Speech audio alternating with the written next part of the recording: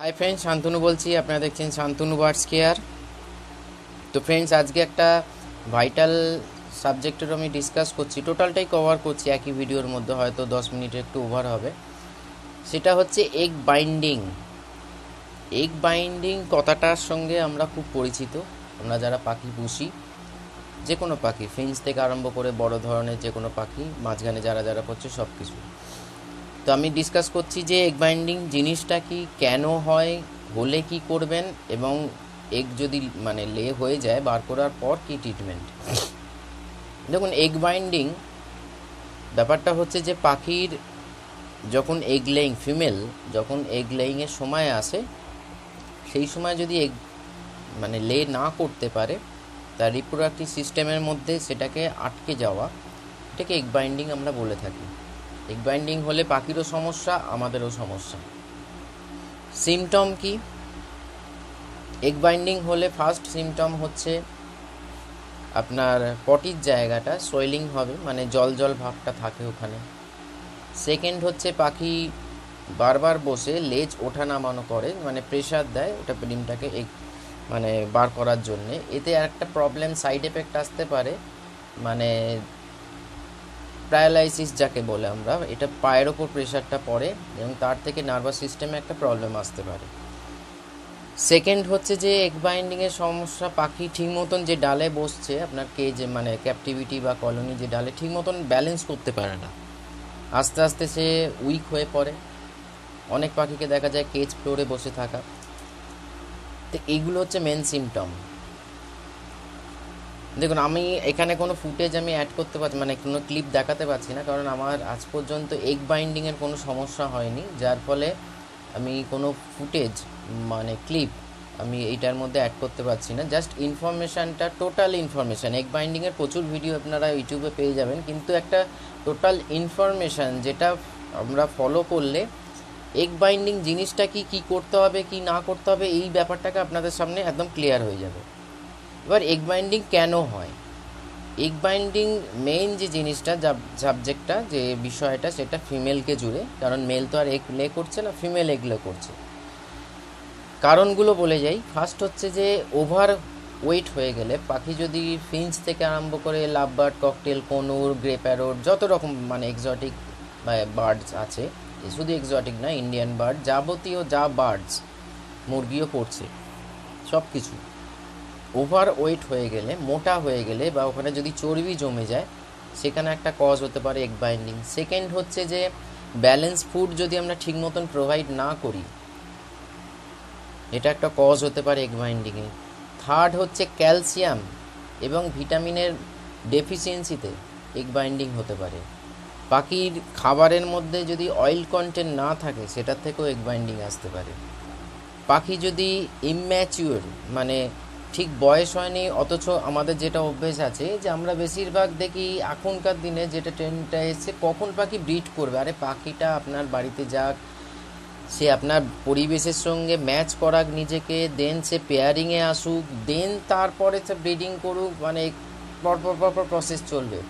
কিন্তু আমরা লোভে পড়ে তাড়াহুড়োর মাথায় অল্প বয়সী পাখিকেও কিন্তু আমরা যার স্বাস্থ্য যার মানে ইন্টারনাল সিস্টেম ঠিক মতন রেডি নয় সেই সমস্ত পাখিকে দিয়েও ব্রিড করানোর চেষ্টা করি এবং যার মেন কজ হয়ে দাঁড়ায় এগ বাইন্ডিং পর্যাপ্ত পরিমাণে ক্যালসিয়াম যদি শরীরে না থাকে, কারণ এগ একটা পাখি যখন এগ ফিমেল যখন এগ লে করছে, তার শরীর থেকে পর্যাপ্ত পরিমাণে একটা মানে ডেফিসিয়েন্সি হচ্ছে ক্যালসিয়ামে সেই সময় ক্যালসিয়াম সাপোর্ট বা হোল ইয়ার ক্যালসিয়াম সাপোর্ট যদি না থাকে, বা অয়েল সিডের সাপোর্ট বা ভিটামিন ই অ্যান্ড ই বা মাল্টিভিটামিনের সাপোর্ট যদি না থাকে, সেখানেও এগ বাইন্ডিং আসতে পারে। তো এই ব্যাপারগুলোকে, এবং মেন যে জিনিস হচ্ছে ব্যালেন্স ফুড দেখুন, আমার এভিয়ারি বা আমার ফার্মে ছোট ফার্ম আছে দুটো। আজ পর্যন্ত এগ বাইন্ডিং কী জিনিস আমি জানি না। আমি ভবিষ্যতে কী হবে জানি না, কিন্তু এখনও পর্যন্ত ইন ফিউচার নয়, জানি না। ইন প্রেজেন্ট অ্যান্ড পাস্ট কোনো রকম এগ বাইন্ডিংয়ের সমস্যা হয়নি। কারণ আমার পাখি সবসময় ব্যালেন্স ডায়েটে থাকে। তার শরীরে যথেষ্ট অয়েল কন্টেন্ট রয়েছে ক্যালসিয়াম রয়েছে মাল্টিভিটামিন হোল ইয়ার চলছে। যার ফলে, এবং কোনো পাখি আমার ওভার ওয়েট নয়, কোনো পাখির ফ্যাটের প্রবলেম নেই, ফলে, এবং আর একটা জিনিস আছে যে ফ্যাট অনেক ক্ষেত্রে হয় ফ্যাটের যে মেন কজটা সেটা আমি তুলে ধরছি যে, পাখিকে আপনি এমন একটা কেজে রেখেছেন যেখানে সে ফ্লাই করতে পারছে না, সেখান থেকেও কিন্তু আস্তে আস্তে তার চর্বির সমস্যা আসতে পারে। এবং সেই চর্বি বা ওভার ফ্যাট হয়ে যাওয়ার পর এগ বাইন্ডিংয়ের একটা ফিমেলের সমস্যা আসতে পারে। তো এই ব্যাপারগুলোকে যদি আপনারা মেনটেন করতে পারেন, তো অতি অবশ্যই আপনারাও এগ বাইন্ডিং থেকে মুক্তি লাভ করতে পারবেন। কারণ এটা একটা মেজর পার্ট কারণ পাখি তো প্রচণ্ড কষ্ট পায় এক্সপায়ার পর্যন্ত হতে পারে যদি সঠিক সময় সঠিক ট্রিটমেন্ট না করা হয়। এবং আমাদেরও প্রবলেম এটা কি, আমরা একটা মানে প্রাণকে হারাতে পারি। দেখুন বিজনেস নজরে সব কিছু দেখলে আবার হবে না। যেমন ধরুন, আমি এখানে একটা জিনিস উল্লেখ করছি, আমার কাছে অনেক কলস আছে যে, এত খরচা হচ্ছে, অত দেখুন এমন সময়, এমন কিছু সময় আসে, এই যে লকডাউনের সময়, আমার কিন্তু প্রত্যেকটা পাখি, যে পাখিগুলো ধরুন বিক্রি হবে সেল হবে, বাচ্চাগুলো বা সেল ফিডিং বাচ্চা বা সেমি অ্যাডাল্ট বার্ডগুলো সেগুলো কিন্তু আমার কাছে এখন লকডাউনে জমে রয়েছে। তার কিন্তু পর্যাপ্ত পরিমাণে খাবার মেডিসিনস অ্যান্ড ন্যাচারাল ট্রিটমেন্ট আমি কিন্তু করে চলেছি। এখন কিন্তু আমি দেখছি না যে কবে পাখিটা বেরোবে, এর থেকে আমি দুশো টাকা লাভ করব কি তিনশো টাকা লাভ করব কি হাজার টাকা লাভ করব সব ভুলে গেছি। আগে প্রাণটাকে বাঁচাতে গেলে যে জিনিসগুলো দরকার, সেটা আমাকে প্রিপারেশান আমাকে নিতে হয়েছে, আগামী দিনেও নিতে হবে। কারণ এই লকডাউন কখন উঠবে, কবে উঠবে কেউ জানে না। ফলে আমার পাখিগুলো যাতে জীবিত, দেখুন, আমরা মানুষ, আমরা খিদে পেলে বলতে পারি বা আমাদের কোনো সমস্যা হলে বলতে, কিন্তু ওরা তো নির মানে মানে কী বলব, অবলা জীব। ওদের যাতে কোনো প্রবলেম না হয়, সেটা আমাদের দেখার সেই জন্য বিজনেস সবসময় সামনে নিয়ে আসলে চলবে না। বিজনেসের সাইডেও একটা ভালোবাসা বলে জিনিস আছে, যেটা আমাদের দেখাটা উচিত আমার মনে হয়। এবার আপনাদের কি মতামত হবে সেটা আপনাদের ব্যাপার। যাই হোক, আমি অন্য ট্র্যাকে চলে যাচ্ছি। যেগুলো বললাম, সেগুলো মেনটেন করলে এগ বাইন্ডিংয়ের সমস্যা থেকে আপনারা কিন্তু বেরিয়ে আসতে পারবেন। এবার হচ্ছে এগ বাইন্ডিং যখন হয়ে গেছে, বুঝতে পারছেন, একটা মেডিসিন আছে হোমিওপ্যাথিক মেডিসিন, পালসিটিলা থার্টি, সেটাকে যদি প্রয়োগ করা হয়, অনেক ক্ষেত্রে এগ ফিমেল লে করে দেয়। কারণ ওষুধটার কাজই হচ্ছে পালসিটিলা থার্টি ডাইরেক্ট আপনি অল্প একটু জলের সঙ্গে এক দু ড্রপার মিশিয়ে ড্রপ মিশিয়ে যদি ডাইরেক্ট পাখিটার পুশ করতে পারেন, তাহলে খুব ভালো হয়, নাহলে ওর ওয়াটারের মধ্যে মেশাতে হবে। যেরকম আপনার ওয়াটার কন্টেন্ট কত এম জল ধরে তো আমি তো এখানে বসে বলতে পারব না, সেই অনুযায়ী জিজ্ঞেস করবেন, ফোনে জিজ্ঞেস করবেন, আমি বলে দিতে পারব। আর আদারওয়াইজ যদি ধরুন ব্যাপারটা আমি এই মুহূর্তে এখন সন্ধ্যেবেলা ভিডিও করছি, আমি সকালে কাজে ছিলাম বলে করতে পারিনি, নাহলে আমার যে হ্যান্ডটেম বার্ডগুলো আছে তাদের নিয়ে দেখিয়ে দিতে পারতাম। তবুও বলছি, পাখিটাকে উঠ মানে মুখটা আপনার দিকে থাকবে। যদি মনে হয় যে আপনি বার করতে পারবেন, তবেই এই রিক্সটা নেন। তবে একটা কেয়ার রাখতে হবে, কোনো ক্ষেত্রে পাখির শরীরের মধ্যে যেন ডিমটা ফেটে না যায়, তাহলে কিন্তু এক্সপায়ার করে যেতে পারে।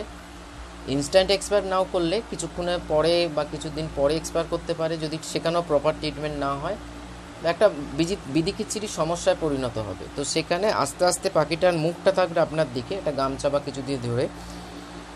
পটির জায়গায় মানে পুপসের জায়গায় সেখানে মানে গ্লিসারিন লিকুইড গ্লিসারিন যেটা পাওয়া যায় মেডিকেটেড গ্লিসারিন, সেটা দিতে পারেন বা নারকোল তেল বা যার কাছে হাতের সামনে যেরকম যেটা থাকবে সেটা দেওয়ার পর, আগে ডিরেকশানটা দেখতে হবে যে ডিমটা এরকম এরকম আছে না এরকম বেঁকে গেছে। তো এই ব্যাপারটা আপনাকে মাথায় রাখতে হবে।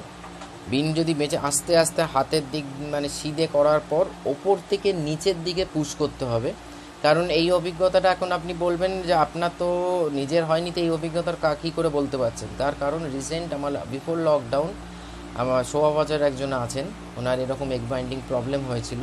তো আমি গিয়ে যেরকম বলছি আপনাদের সেম প্রসেস সেটা হচ্ছে ককটেলের ছিল। আমি বার করে দিয়ে আসছি, এবং পাখি এখন সুন্দর রয়েছে, এবং তারা এখন ব্রিডিংয়েও আছে। ফোন করেছিলেন উনি। তো সেই অভিজ্ঞতাটাই আপনাদের শেয়ার করছি। ওপর থেকে নিচের দিকে মানে কোনো তাড়াহুড়ো করবেন না কিন্তু। তাড়াহুড়ো করলে কিন্তু মুশকিল। ফেটে গেলে ভেতরে ব্যাস হয়ে গেল। আস্তে করে পুশ করে, আস্তে বারবার পুশ করতে করতে দেখতেই পাবেন যে পুপসের দিকে সাদা অংশটা বেরিয়ে আসছে মানে এটা আরেকটু হালকা পুশ করলে ওটা বেরিয়ে আসবে। এখানেই শেষ নয়, বেরিয়ে তো এলো। এবং তারপরে নিয়ম হচ্ছে যে, যেটা আমি ওখানেও করে এসেছি, ডিস্টিল ওয়াটার বা স্যালাইন ওয়াটার দিয়ে বারবার মোটামুটি দু তিন দিন ওই জায়গাটাকে, পাখিটাকে ধরে ওই জায়গাটা পরিষ্কার পরিচ্ছন্ন রাখা। এবং তার সঙ্গে সঙ্গে অনেক ক্ষেত্রে বড় পাখি হলে, ছোট পাখি হোক, যাই হোক, ভেতরে একটা ইন্টারনাল ইনফেকশনের চান্স থেকে যায়। যার ফলে এবার ভালো করার একটা জিনিস, যে মেডিসিনগুলো ইউজ করবেন, এটা ডাক্তারের পরামর্শ নিয়েই আমি ভিডিওটা করছি এবং ডাক্তারের সঙ্গে ডিসকাস করার আগে আমার নলেজের মধ্যে ছিল, সেই ট্রিটমেন্টটা তাকেও করা হয়েছে, যে পাখিটার আমি এগ বাইন্ডিং ক্লিয়ার করেছি। ডক্সিসাইক্লিন অ্যান্টিবায়োটিক তার সঙ্গে সঙ্গে প্যারাসিটামল টু ফিফটি এই দুটোকে আপনাকে সংগ্রহ করতে হবে এবং তার সঙ্গে সঙ্গে ডিস্টিল ওয়াটার বা স্যালাইন ওয়াটার দিয়ে জায়গাটাকে পটির জায়গাটাকে ভালো করে পরিষ্কার করা। দেন ডক্সিসাইক্লিন তো ক্যাপসুল ওটা খুললে যে গুলি বেরোয়, বড় পাখি হলে আট ভাগ, ছোট পাখি হলে দশ ভাগ করতে হবে ওই গুলিগুলোকে। মানে এক জায়গায় গুলিটা ঢাললেন, আস্তে আস্তে মানে কাগজের টুকরো দিয়ে ওই মানে ছোট পাখি, ধরুন ফিঞ্চ, জাবা, বদ্রি, লাভবার্ড, দশটা ভাগে ভাগ করতে হবে ওই মেডিসিনটাকে একটাই ক্যাপসুলকে দশ ভাগে ভাগ করতে হবে গুলিগুলোকে। আর প্যারাসিটামলের একটা ট্যাবলেট টু ফিফটির একটা ট্যাবলেট গুঁড়ো করে ওটাকেও যদি ছোট পাখি হয়, তাহলেও গুঁড়ো করতে হবে। গুঁড়ো করে ওটাও ছোট পাখি হলে দশ ভাগ, নাহলে বড় পাখি হলে আট ভাগ। করে আলাদা আলাদা খামের মধ্যে রাখবেন বা কাগজের মধ্যে। অন্তত তিন দিন, এবলা ওবলা। যখন যদি আপনার হ্যান্ডটেম বার্ড হয়, তাহলে তো হ্যান্ড ফিট করাতে পারবেন। আদারওয়াইজ ওদের জলের মধ্যে বা সফট ফুডের মধ্যে, পাখি যখন সফট ফুড নট ডানার মধ্যে সফট ফুড বা জলের মধ্যে ডক্সিসাইক্লিনের এক ভাগ প্যারাসিটামলের টু ফিফটির এক ভাগ দিতে হবে, কারণ ভেতরে হয়তো একটা পেন ওদের হলেও হতে পারে, সেই পেন কিলার প্যারাসিটামল সামলাবে এবং ভেতরে ইনফেকশান যাতে না হয়, সেই সময় ইনফেকশানটা আর একটা হচ্ছে এনজাইম মেডিসিন যে কোনো কাইন্ডস অফ এনজাইম সিরাপ হতে পারে সেটা আপনার বনিসনটা এনজাইম নয়, বা আপনার এ নিওপেপটিন হতে পারে, যে কোনো টাইপের এনজাইম মানুষক বা ভেটেনারি যে কোনো সিরাপ কারণ যেহেতু পেনকিলার পড়ছে সেখানে অ্যাসিড বা গ্যাসের একটা প্রবলেম আসতে পারে, ফলে এনজাইম সিরাপ। আর আমি এখানে একটা জিনিসকে অ্যাড করব, ভিটামিন বি কমপ্লেক্স, যেটা নার্ভাস সিস্টেম বা ওই সমস্ত জায়গাকে তাড়াতাড়ি রিকভারি করতে সাহায্য করে। এই চারটে জিনিস, আমি আবার বলছি ডক্সিসাইক্লিন একটা ট্যাবলেটকে ছোট পাখি হলে দশ ভাগ, বড় পাখি হলে আট ভাগ। এইভাবে তার সঙ্গে প্যারাসিটামল টু ফিফটি তার সঙ্গে হচ্ছে এনজাইম কোনো মেডিসিন সিরাপ ওটা যদি আপনি হ্যান্ড ফিটে দেন ওই পাঁচ ফোঁটা, আর খাবারে দিল বা সফটওয়্যার দিল পাঁচ ফোঁটা, আর অ্যাম্বিপ্লেক্স বা মানে ভিটামিন বি কমপ্লেক্স আমি অ্যাম্বিপ্লেক্স বলে উদাহরণ উচ্চারণ করছি না ভিটামিন বি কমপ্লেক্স সে হতে পারে অন্য আপনি দেখে নিন ভিটামিন বি কমপ্লেক্স বা ফোন করলে আমি বলে দেবো।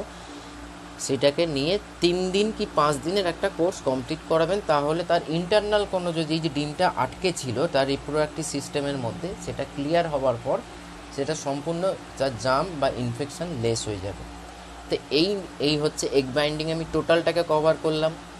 যদি কোনো প্রশ্ন থাকে, আমাকে কমেন্টসে জানান, আমি তার রিপ্লাই দিয়ে দেবো সেখানে, বা কোনো সেরকম বড় রিপ্লাই হতে তাহলে আপনাকে ফোন করতে বলব, আমি ফোনে রিপ্লাই দিয়ে দেবো। আর ফ্রেন্ডস এই ভিডিওটাকে আশা করি আপনাদের পছন্দ হবে, ভালো লাগবে। তো ফ্রেন্ডদের আপনার যারা পাখি পোষে, যাদের এই ধরনের সমস্যা আছে, তাদের শেয়ার করুন, তারাও উপকৃত হবে।